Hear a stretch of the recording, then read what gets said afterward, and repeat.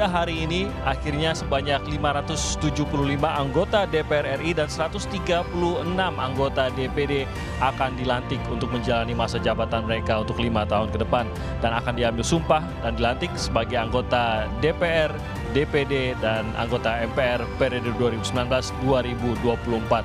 Nah, acara pelantikan ini sendiri nanti rencananya akan dihadiri oleh Presiden Joko Widodo dan Wakil Presiden Yusuf Kala. Siapa saja mereka yang akan menjadi wakil rakyat untuk lima tahun ke depan? Kita lihat profil-profil mereka, bukan profil satu persatu, namun bagaimana komposisi dari anggota DPR periode berikutnya ini. Ada 575 anggota dewan yang terpilih untuk periode 2019 hingga 2024 nanti. Para wakil rakyat ini berasal dari sembilan partai yang lolos ambang batas parlemen yang sudah ditetapkan dalam undang-undang. Nah, komposisi dari sembilan partai ini jumlah kursi terbanyak dimiliki oleh fraksi PDI Perjuangan dengan uh, 128 kursi dan disusul oleh Partai Golkar yang memperoleh 85 kursi dan berikutnya oleh Partai Gerindra dengan 78 kursi. Dan berikutnya adalah Partai Nasional Demokrat, PKB, dan Partai Demokrat yang mendapatkan kursi tidak jauh uh, perbedaan jumlahnya 59, 58 dan 54 sementara PKS dan PAN memperoleh 50 dan 44 kursi sementara P3 untuk periode ini mendapatkan 19 kursi di parlemen kita untuk periode 2019-2024. Kalau Anda lihat perbandingan antara wajah baru dan wajah lama dalam parlemen periode berikutnya ini, tampaknya ini cukup berimbang.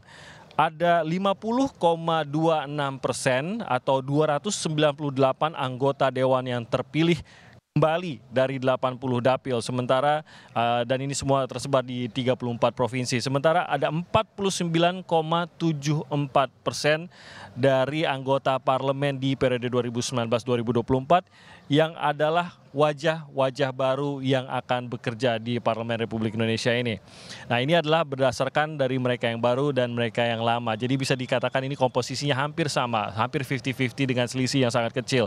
Berikutnya bagaimana keterwakilan perempuan dalam parlemen kita di 2019-2024. Berdasarkan uh, informasinya memang keterpilihan atau keterwakilan perempuan di parlemen ada 118 perempuan yang duduk di anggota kursi dewan untuk periode berikutnya dan kalau ini dibandingkan dengan periode lalu yang berjumlah uh, 97 orang tentu ini sudah lebih banyak namun jika dibandingkan dengan anggota dewan yang laki-laki yang berjumlah 457 orang ini masih perbandingannya satu perempuan dibandingkan dengan empat anggota laki-laki. Jadi masih perbandingan satu banding empat.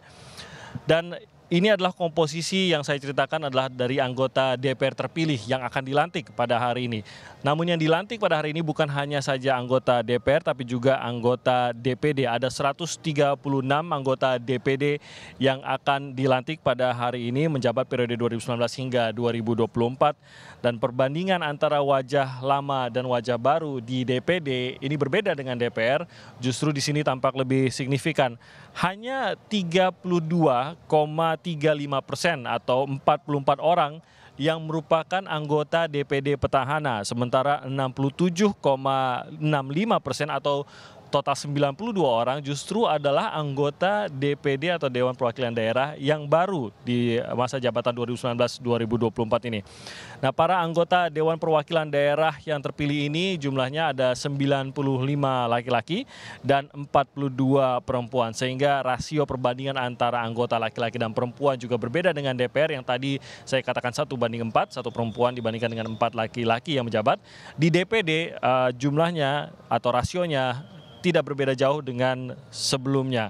Uh, rasio perbandingan dua banding satu, dua laki-laki uh, dan satu perempuan perbandingan rasio di anggota DPD 2019-2024 dan harapannya tentu saja tetap sama bagi anggota DPR maupun anggota DPD dan juga selaku mereka sebagai anggota MPR bahwa mereka bisa membawa perubahan dan memperbaiki kinerja lembaga legislatif dalam menjalankan tugas dan fungsi legislasi, uh, anggaran dan juga pengawasan. Inilah yang menjadi tugas pokok dari para anggota yang akan dilantik pada pagi hari ini uh, di ruang rapat paripurna 1 yang rencananya nanti akan dimulai pada pukul 19 uh, maksud saya pada pukul 9 lewat 15 pagi hari ini.